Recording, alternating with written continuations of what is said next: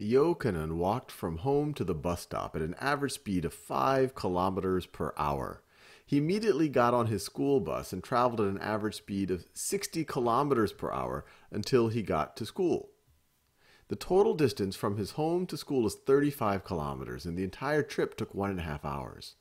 How many kilometers did Yochanan cover by walking, and how many kilometers did he cover by traveling on the bus? It's fascinating. So I encourage you to pause the video and try to think about it on your own. All right, so let's just define some variables here. How many kilometers did he cover by walking? Let's call this W. And how many kilometers did he cover by traveling on the bus? Let's call that let's call that B. And so what do we know? We know that the kilometers, and I actually can even draw it just to make sure that we're visualizing this thing, right? So this right over here is his home. That's his home. And then he is going to travel. Let's see, they tell us they tell us that it's 35 kilometers to school. So this is his school right over here. I'll draw a bigger building. That's his school. And we know that this distance is 35, 35 kilometers. We also know that it took one and a half hours. One and a half hours. And now he traveled at different rates for different distances.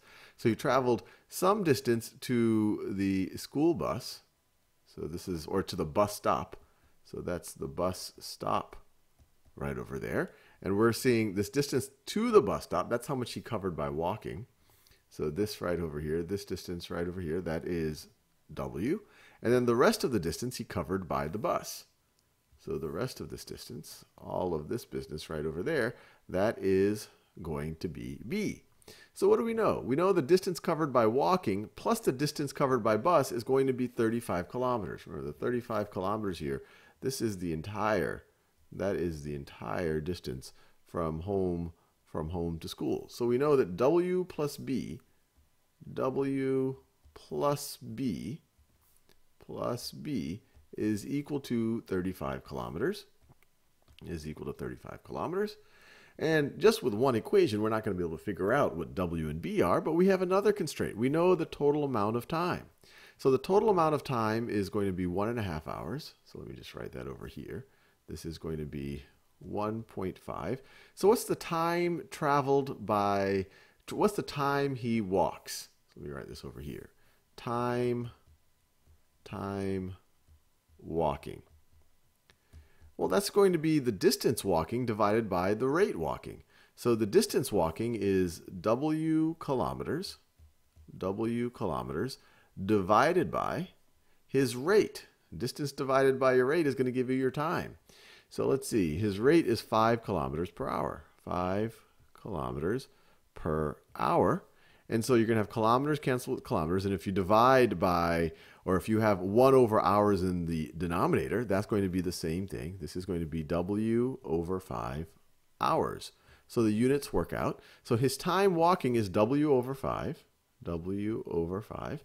And by that same logic, his time on the bus is going to be the distance on the bus divided by divided by the average speed of the school bus. So this is going to be 60. This is all going to be in hours. And now we can solve this system of equations. We have two, two linear equations with two unknowns. We should be able to find W and B that satisfy both of these. Now, what's an easy thing to do? Let's see, if I can multiply this second equation by negative negative 5, then I'm gonna, this is going to be a negative w here, and so it'll cancel out with this w up there. So let's do that. So let's multiply the second equation by, and I'm just going to switch to one color here. So this top equation is going to be w plus b is equal to 35. This bottom equation, if I multiply both sides by negative 5, so both sides by negative 5, so I'm going to multiply both sides by negative 5, I'm going to get negative 5 times w over 5 is negative w.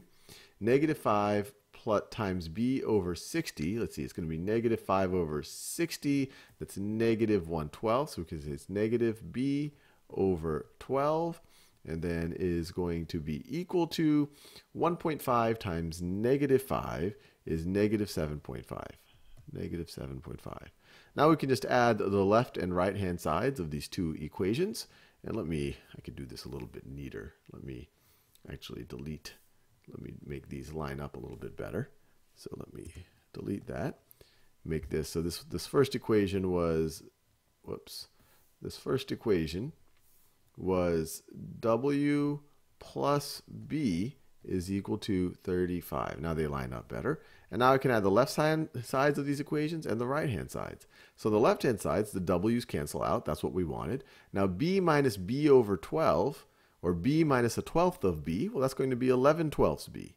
11 twelfths b is equal to, let's see, 35 minus 7.5. See, 35 minus 7 would be 28, and then another half, this would be 27.5. 27.5.